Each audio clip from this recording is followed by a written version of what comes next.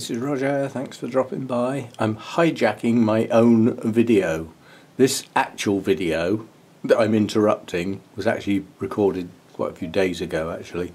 Um, but I'm just using it to apologise. This will be posted on Monday, so I'm apologising for no Sunday chat. Um, it just didn't work out that there was um, time or space or subject matter to do a Sunday chat. So I've just missed it this week. Doesn't happen often, but it's happened this time. And in addition to that, I'd like to thank everybody for quite a massive jump in my subscribers. This is brilliant. I mean, it's, what I'm after. It's what I I keep plugging, I suppose you could say. Uh, even though I don't want to sound as though I'm plugging, excuse me. All I'm asking for is that people who regularly watch, you know, that are not subscribed, just subscribe to the channel because it costs nothing and it will not change your life in any shape or form or your viewing or anything. But it will be a big help to my channel. So again, if you haven't, please do so if you feel inclined.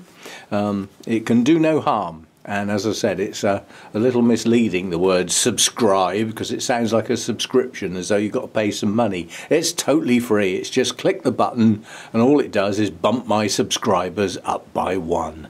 And when I get to that 10,000, it's going to be a big deal for me. And also, it could be a big deal for quite a few of you, because there will be a really substantial giveaway when I get there, which I haven't mentioned before, although I might have done. but yeah, get me there, and then you're in for a massive giveaway, and I'll try and make it as worldwide as I can because I know you know it's quite difficult. You can't you can't send plants all over the world. That just can't happen. So I can't give away plants and things like that. I'll make it worth your while. so again, as I said, if you're not subscribed, please do so especially if you're a regular viewer. You've got you've got nothing to lose, and I've got lots to gain. um, yeah, so I've interrupted a, a, a video that was pre prepared, already made, ready to go, and I've stuck this bit on the front, and it's literally to say thanks for those who have subscribed. Those who haven't, please do so. And thanks for staying with the channel. Thanks for watching the videos. Thanks for the comments. If I get up in the morning at five o'clock and get my coffee and sit down in the computer and there's no comments, I just well go back to bed because there's nothing to do. so they are part of my day, those comments. Seriously, they're part of my day. My YouTube channel, I, I feel, is a job. It, it's my job. Um, my orchids are my hobby. My YouTube channel is my job. And part of that job is dealing with those comments, and I do that first thing in the morning when I get up, while, while my bleary eyes try and wake up to the world around me.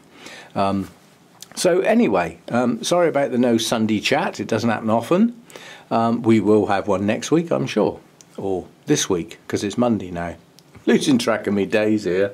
That's the trouble when you start recording things on days and you need to refer to days, you have to work out when you're going to post it to work out what day you're relating to. So this is being recorded late on Sunday afternoon. It will be posted on Monday morning. And um, again, thanks for those that have subscribed. Brilliant. And for those who are watching and haven't, it would be nice if you could. So uh, anyway, let's get on with the video. So it's now going to start again. this is going to seem weird. Hi, this is Roger. Thanks for dropping by. This is an unboxing in the kitchen. And there may well be a good reason for that. Um, I'm not sure whether I'm going to be pleased with what I've got here. This was a spur of the moment purchase, which may, on reflection, be deemed a bit silly, but uh, We'll see what we got. You wouldn't guess. Oops. Many thanks for your purchase, handwritten. We like that. Oh, I got a letter as well. This is probably a care guide. It is a care guide. It's quite a comprehensive care guide. That's a nice touch. I like these sorts of things. I don't specifically need it, but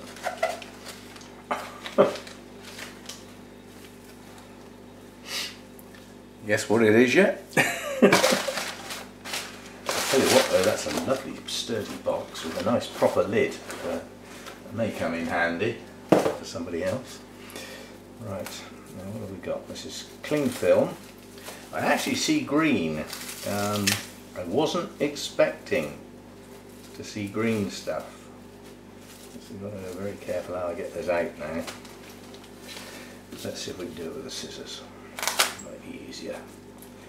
It's cling film, so it's doing what it's supposed to do and clinging. Get the scissors under there, then we might be able to start tearing.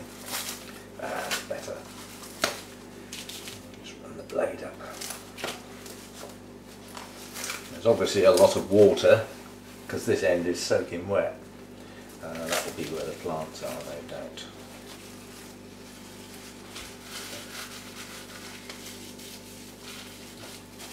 Well, that's the hybrid name. Can you guess what it is yet? and I'll let you into another secret as well. It's not what it is, it's what they are. Get this off first.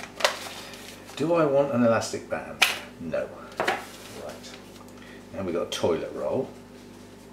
And they've obviously been slid in, so I'm gonna I'm gonna take this toilet roll apart. Um, because I don't want to try and push them out and force them, if you see what I mean. So I'm going to see if it'll unravel. Like that. Gently. Get to the wet bit, it'll just fall apart, I'm sure. Which it is. Heavy on the moss and more cling film.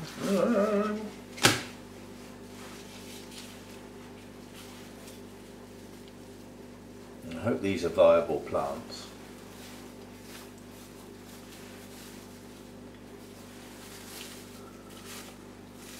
Silly perch, are they? Just basically splattered in uh, sphagnum moss.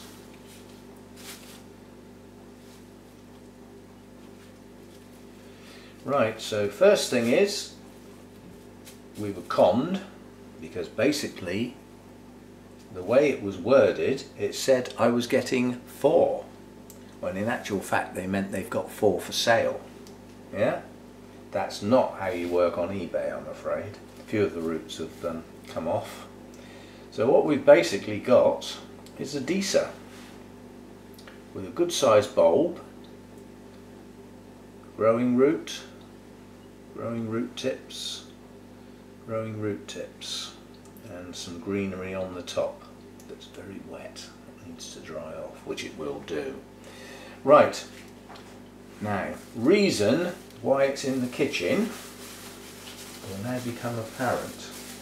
Um, I'm just going to throw that in the bin. And that kind of thing. There. I'll have to go and recycling some of. Let's just put it out of the way for now. And um, I'm just going to break off and I'll come back and there'll be a change in the environment here um, because that needs potting right now which is why I decided to unbox it in the kitchen. That root's broken so that one's gone. Ugh. These are awful Disas, the actual roots. You've only got to look at them and they flip and break. Incredibly fragile. Right, I'll be back. Right, this is the reason I'm back. I had three pots of Disas, they're all the same. Um, one of them died, they were the tiny little offshoots, they, they didn't make it, um, they went over quite quickly. Another pot full I gave to a friend, and this is all I had left. And many of these have died. This one produced a flower spike that failed, leaving this one with a single new growth. The media has gone in here. These should have been repotted last autumn. They didn't get done. So I'm going to try and save this and the reason why I'm doing it now, not when it ought to be done in the autumn, could be dead by then, is that I've got to get the media out to pot that one. Well, if I'm going to get the media out, we just as well have a go at this at the same time. I don't know what I'm going to have in the pot. All I know is that these are incredibly fragile.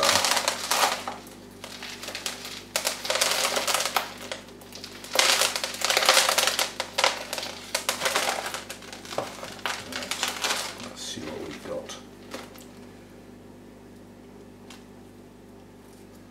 Well I know that bit's dead, so that can come off. And what we've got left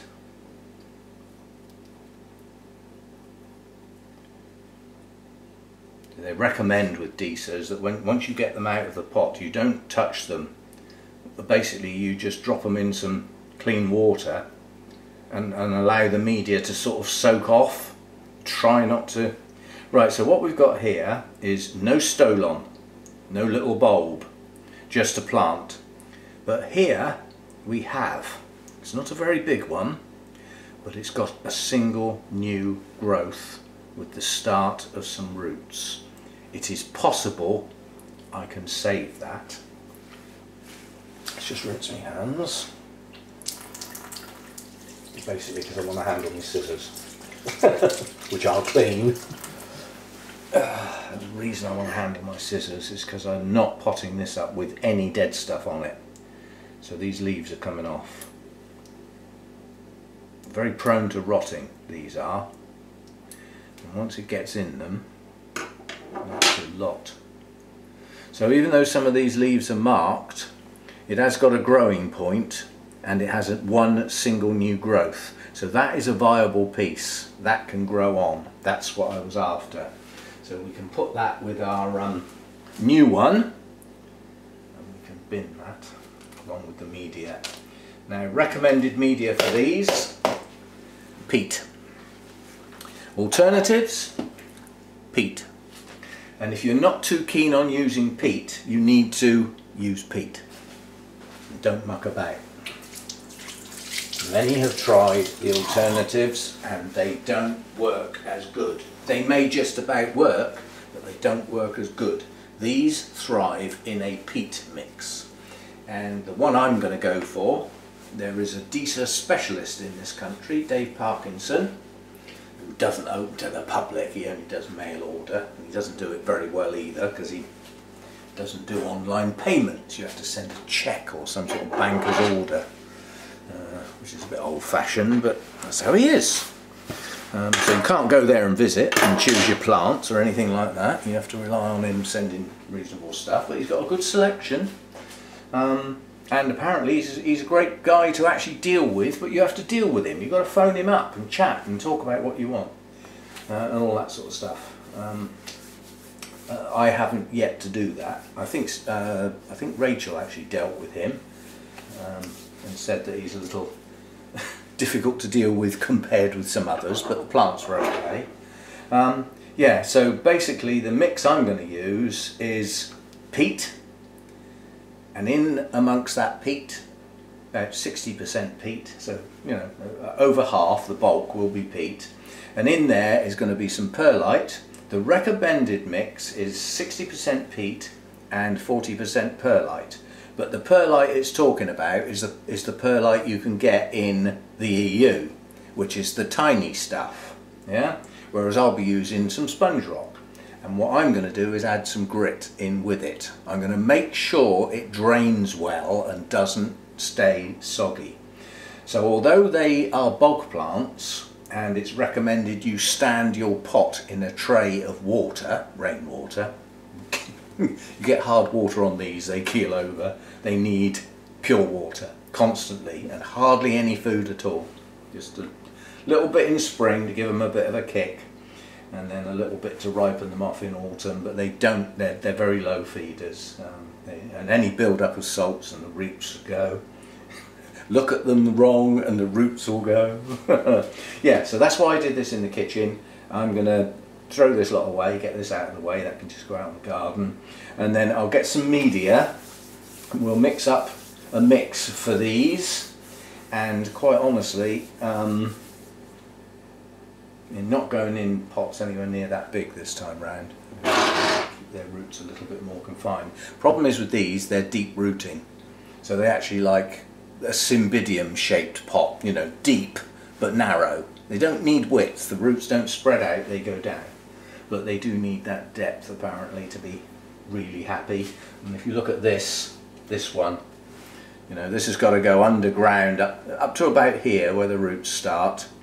Um, you know, it's over at an angle slightly. I will probably pot it at a slight angle. This will straighten up as time goes on, as the leaves open. So, uh, right, let's get rid of the mess and we'll come back and we'll get these two potted, um, get them labelled up and um, see if they'll see if they'll start to grow again. This has only gone down because the media went off. Simple as that. We've been in the pot too long. Um, and obviously constantly soggy, you know, actually standing in water. So although they need an acidic media, not that acidic. I'll be back. Okay, this is uh, not ideal because the next size pot is quite a bit bigger but is no deeper. I haven't got any really long thin pots. These are small plants so I'm going to trust that they'll be okay in what I consider a normal size pot for an orchid. But the guy I know at the Orchid Society who grows a lot of Disas, he always recommends putting them in a big pot and over potting them basically. Um, and he does grow nice ones. But I haven't got the pots so I'm going to run with what I've got. So this is the peat. It's um, coarse peat, but it's got some chunky bits in it.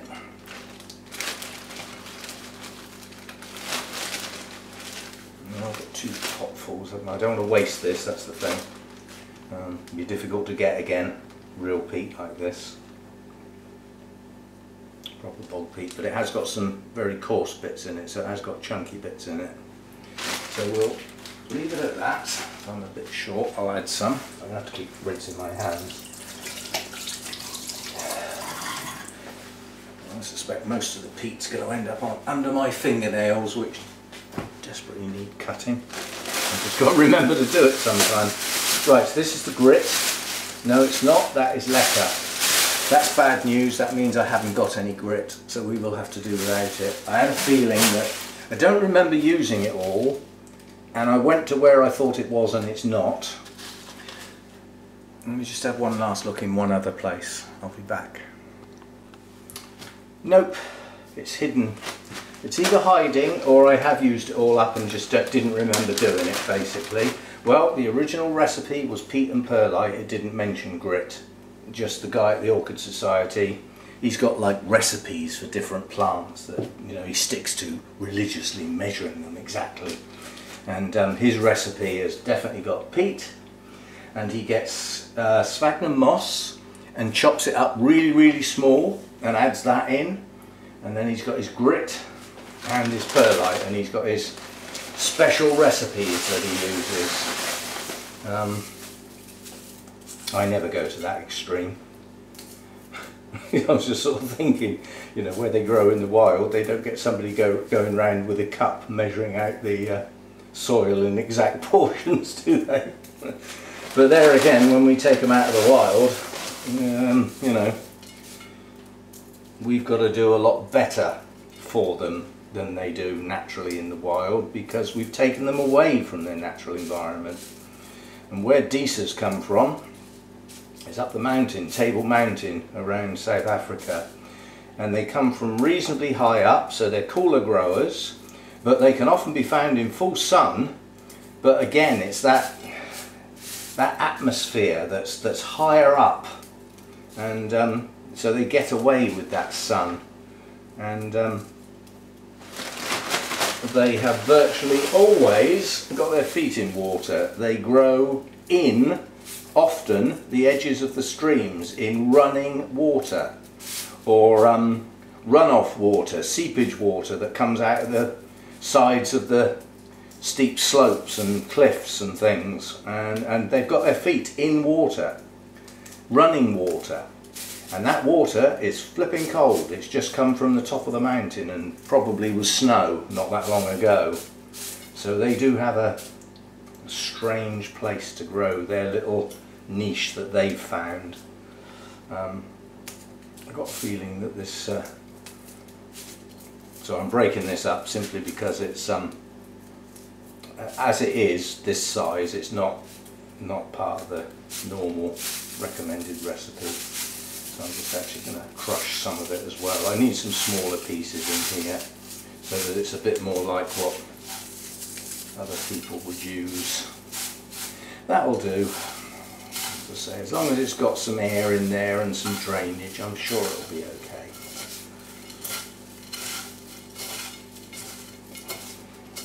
Well mixed in.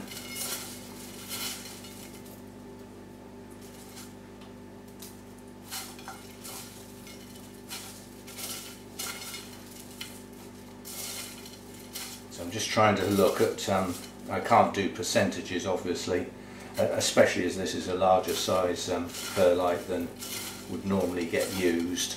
But I can picture in my mind the picture I've just been looking at um, on Dave Parkinson's website about what his media looks like, you know, when it's mixed up. And the percentage of white against black, that's what I'm picturing. And this doesn't look bad. I'm going to add some more in. I've got to watch shaking this stuff, I've not I, with the dust. Add some more in. At the end of the day, they stand in water a lot of the time. Um, I just they stand in one of my drip trays and I top the tray up with water. And when I see that that water's sort of gone, I fill the tray up again. Uh, I don't keep them quite that wet in the winter, but they do stay wet basically these can go down to almost freezing in their natural environment um, in the winter. So they can take the cold um, but again it's with that thinner air. I reckon that'll be okay. Now comes the difficult bit is trying to get those plants in that media without any form of pressing or rubbing because this perlite will scratch and damage the roots and that could lead to infections and things. So I want to try and keep them, get that out of my way. Just put the media in and let it fall around the roots and then tap the pot. That's all I plan on doing. So we'll have some in the bottom. So again I could do the, you know, do the deeper pot. Really could. I'm just hoping they'll twist Yes, they will. Right. And then I'm just going to drop this in and let it, just let it fall. And then tap the pot. It's quite important to get the depth right as well. This new growth has got a white base to it and a green top. That tells you where the level is. Yeah? Where the white stops. That's where it was before because it was underground. Right. Is that enough? It's, it's going to flatten down, isn't it? I really wish... See, that I last time I did these, I also topped the pot with grit to stop the dampness right around the base of the pot. I might go and buy some. It means going out, doesn't it? Mixing with people again. Not going anywhere where I would specifically find any. I'd have to go to a garden centre or something. We'll try and manage without. Um, certainly um, Dave Parkinson doesn't top his with, with grit. He gets away with it. mixed up far too much, haven't I? Never mind. You can always put it in a bag and put it to one side. Right, now the new one. It looks like that was quite far in. So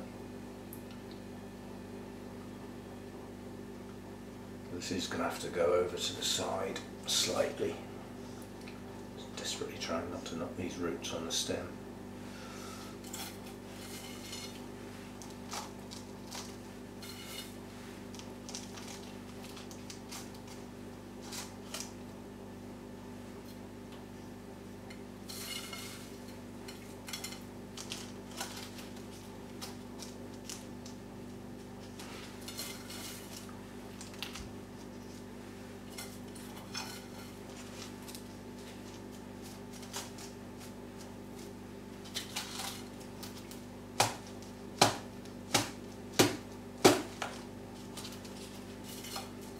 Yep. Top it up.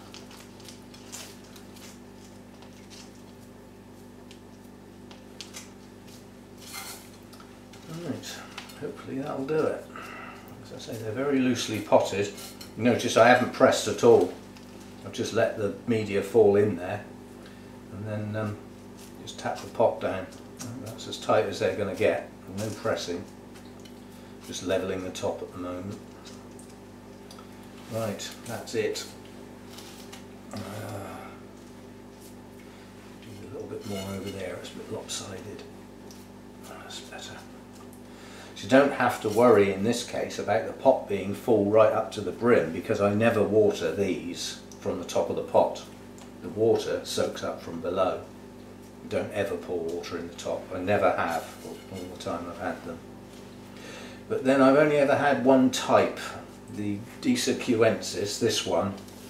I ended up with, um, I bought some, she came from Malvern originally, so I bought a pot that had quite a few in and um, it grew lots more that year. So when I sort of got to repot them I had a lot of plants.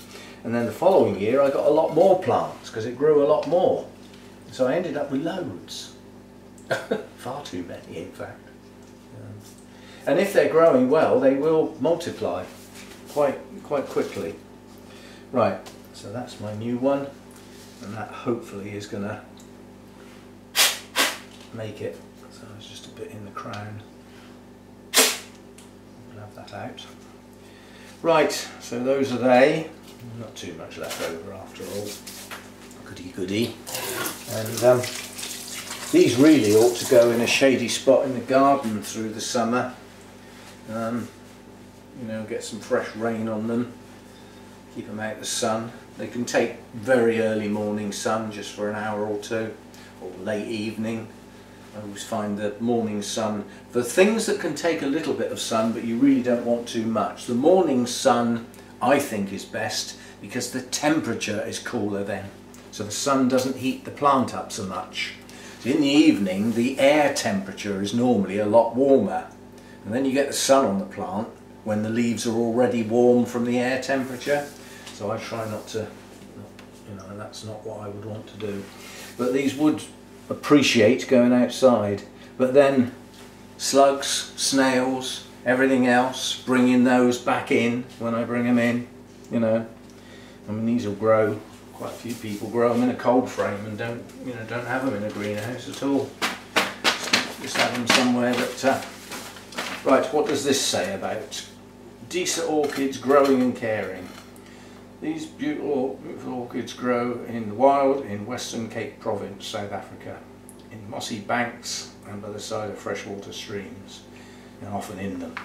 Um, do not use any type of compost, even orchid compost. They need an open, airy, nutrient-free mix that holds moisture well.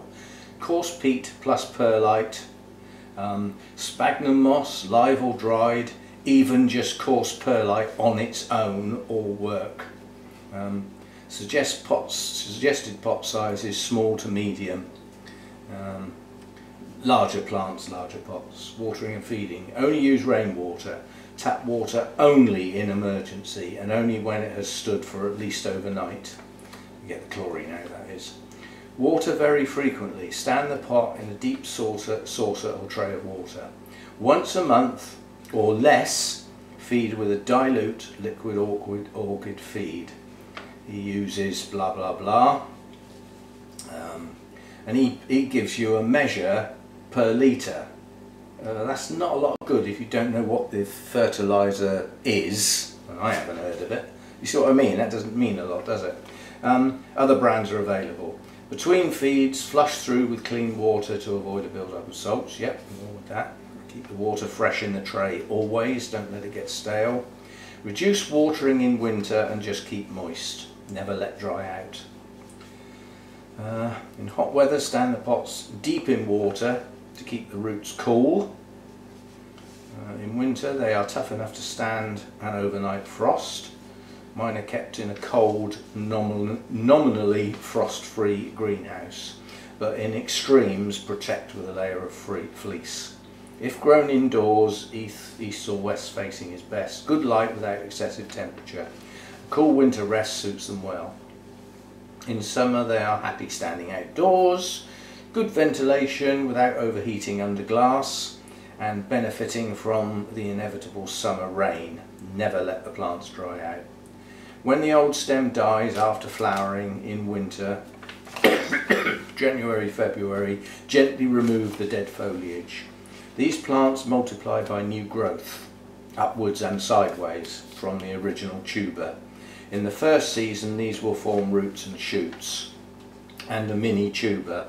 After two years, if the pot seems overcrowded, carefully move into a larger pot, but do not try and divide the plants until at least the third year. And by then you should have a good network of well-established, well-rooted tubers, but they are fragile and there will be some losses even with careful handling. That's, that's not a bad care guide actually from an amateur grower basically. It might have been copied from somewhere I suppose. Who knows? But um, as I say, I knew all that anyway. Uh, I, you know, as I say, I've got uh, pretty close contact with somebody who grows these, you know, almost professionally. He's got um, dozens and dozens and dozens of them and they turn up at shows and win prizes and he grows them very well. He also grows a lot of our na na native orchids but the common denominator, whatever he grows, it's a dirt orchid. He grows terrestrials and that's our little bit of um, banter. He grows dirt orchids and he grows those orchids, those nonsense orchids that hang up in the trees. So there we go, a couple of potted Disas. I will do some um, labels for those and um, get them stood in their trays. They're moist at the moment. This meat, this peat is moist, or this meat is poised even, um, but it's not wet. And they're going into the grow room where it's warm, so they need to be wet. So I will get them into their trays, put some RO water in there. They're not getting any food, not this time, and um, get that to soak right up in until I can almost see it glistening on the top and I know they're moist, wet right through. And then it's just a matter of topping up as the water gets used up. Um, most of the water gets used up evaporating, quite honestly. They don't use a lot, they just sit in it. So there we go. That, that was my what was in the box and um, that's why I unboxed it in the kitchen because I knew I was going to do that. It needed potting straight away. So that's done and maybe I've rescued my other one. Maybe. We shall see. If this grows on and gets a decent set of leaves, and this is growing, even though it's got some damage on the leaves, then it's saved, because it's in new media now. So, see you next time. Thanks for dropping by.